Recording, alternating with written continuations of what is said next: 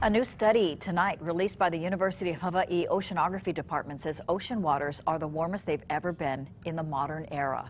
KITV4's Pete Cajano talked with the research scientists who say this warning and warming will bring big impacts to the state. You may have noticed the warmer ocean waters this past summer here in Hawaii, but you may not know this is part of a global record-breaking event. The sea surface temperatures globally averaged and in the North Pacific, uh, they are the highest on record. And the record extends back from 1854 to present day. So it's really an, an unusual, very unprecedented uh, situation. This past summer, the warmest on record. And so far, that trend has continued into the fall. This is very likely going to be the hottest year on record. And that has big impacts globally, but also here in Hawaii.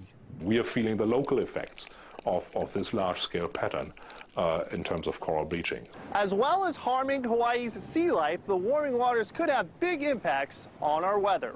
Hawaii being surrounded by ocean is highly dependent upon the ocean in terms of our climate. Our climate is, is dominated by the ocean effect. Since our winds blow in from the ocean, when the ocean gets warmer, temperatures are going to go up.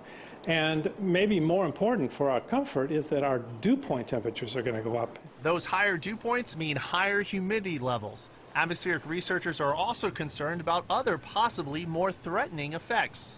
This summer we've seen a couple of hurricanes come and impact the Hawaiian Islands. And that's a reflection of the warmer sea surface temperatures that we've had this year. Now, researchers say the cause of the record-setting ocean temperatures is an increase in CO2 greenhouse gas. They say this increase has been masked over the past decade by an imposing, naturally occurring cooling trend called the interdecadal Pacific Oscillation. That natural trend ended in 2013, so scientists can expect, or they say we can expect, even warmer ocean temperatures and new records, records over the next few decades. Paul and back to you.